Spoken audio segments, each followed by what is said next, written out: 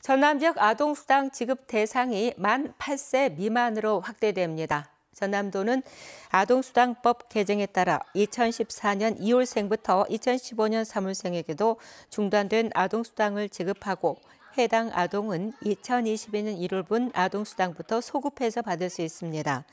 이따라 전남 지역 아동 8만 9,200여 명이 새롭게 월 10만 원의 아동수당을 받을 수 있습니다. 환경부와 국토교통부의 수소연료 전지차 충전소 공모에 전남 다섯 곳이 추가로 선정됐습니다. 이에 따라 목포시 연산동, 순천시 가곡동, 광양시 금호동, 광양읍 초남리, 장흥군 정남진 휴게소 등의 수소 충전소가 추가로 설치될 예정입니다.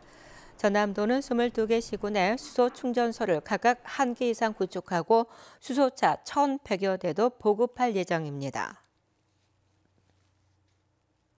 광주시가 광산구 소촌동 수랑공원에 반려견 놀이터를 조성합니다.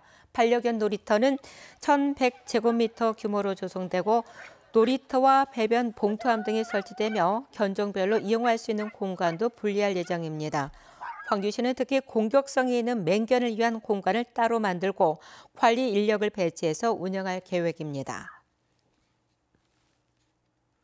과학기술정보통신부가 주관한 연구개발 혁신밸리 육성사업 공모에 광주시의 지능형 디지털 콘텐츠 제작 기술과 플랫폼 구축 사업이 선정됐습니다.